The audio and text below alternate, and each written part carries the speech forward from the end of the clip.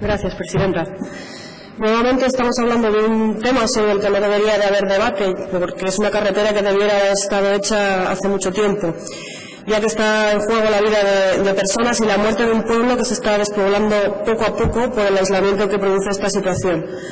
Nos resulta curioso, cuando menos, que el tema lo, lo saque su partido, don Román Rodríguez, ya que ha tenido responsabilidad de gobierno municipal en el ayuntamiento de la aldea y que no solo no fue capaz de liderar este, este tema, sino que la obra se paralizó bajo su mandato, teniendo que ser la ciudadanía organizada, con movimientos como Salvemos la Aldea y el Foro del Roque Aldeano, quienes defendieron la carretera.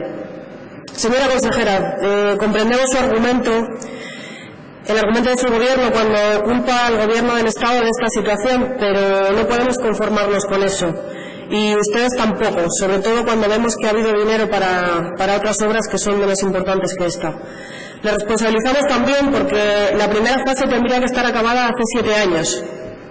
Y cuando en su momento el Cabildo de Gran Canaria se ofreció a prefinanciar la carretera, el Gobierno de Canarias le dijo que no. Durante dos años estuvo bloqueando la ayuda.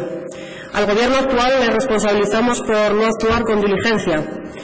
El Gobierno del PP estuvo cuatro años sin poner dinero y dos meses antes de las elecciones inyectó 26 millones de euros. Nos parece puro electoralismo, que sumados a los 5 millones del actual Cabildo son 31.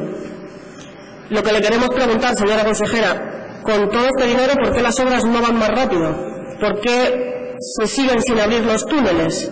Díganos qué es lo que está pasando. Por favor, díganos, por favor, la fecha exacta en que se van a abrir porque los aldeanos ya no pueden resistirlo más. Y si tiene dinero, ¿por qué no se está terminando esta obra? También le pedimos que se asegure que el Gobierno del Partido Popular cumple con la segunda fase que estaba en el anexo 3 del convenio vencido. Exija que esté garantizado en el nuevo convenio. Nuestros compañeros en el Congreso de los Diputados ya lo pidieron y ahora le pedimos que lo haga usted también.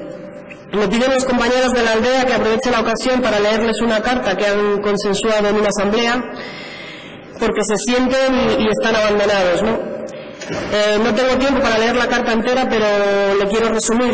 Espero que me escuche usted, tanto como el consejero de Sanidad y la consejera de Emergencias. Dicen, un día más, sábado 23 de abril, nos encontramos aislados por tierra, mar y aire, porque el helicóptero no viene por la noche, y sin médico. Los aldeanos tenemos miedo. No es este un sitio seguro para embarazadas ni personas que padezcan alguna enfermedad. Pónganse en nuestro lugar, en la aldea, con un infarto, sin médico, sin ambulancia y sin helicóptero. Estamos en la Europa del siglo XXI y hay situaciones que no se pueden permitir y esta es una de ellas. Esperamos que escuchen a los aldeanos. Se acabó su tiempo, señora.